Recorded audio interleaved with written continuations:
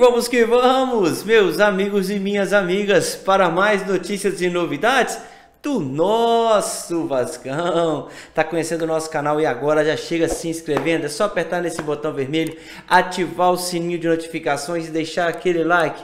Like ajuda muito o nosso canal. Segunda-feira de retorno, Vascão já retorna aos treinamentos, tá? Visando o duelo contra o Madureira. O jogo vai acontecer na próxima quinta-feira, às 8 horas da noite, aonde o gigante da colina precisa vencer e torcer para um empate do Volta Redonda. Se o Volta Redonda empatar, o Vasco tem que fazer três gols no Madureira. Se o Volta Redonda perder, basta uma pequena vitória do gigante da colina, estaremos classificados uma difícil batalha, mas o Vasco é para quem acredita. Chegamos nesse ponto e agora vamos tentar a classificação diante do Madureira. Um salve pro nosso amigo Renato lá em Chalé. A galera de Chalé tá demais, hein? Chalé Vasco. Sim, queridos, datas para semi e final da Taça Rio foram divulgadas pela FERJ.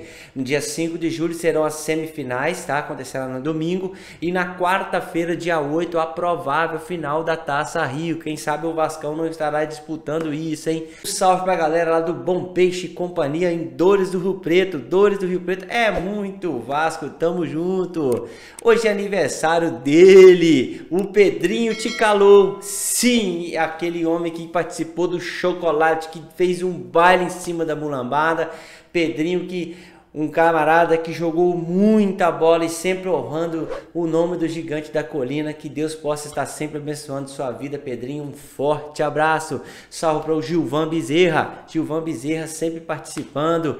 Em rede social, Diamancano comemora os seus três gols, o bicho tá feliz a vida, postando a bola em rede social. É isso aí, Germancano. A torcida tá depositando a confiança em você. Aquela foto que postaram lá falando que você estava magro, a realidade é que você estava com fome, mas era com fome de gols, meus queridos. Vamos que vamos. Tenham todos uma excelente e abençoada semana. Fiquem com Deus. Valeu.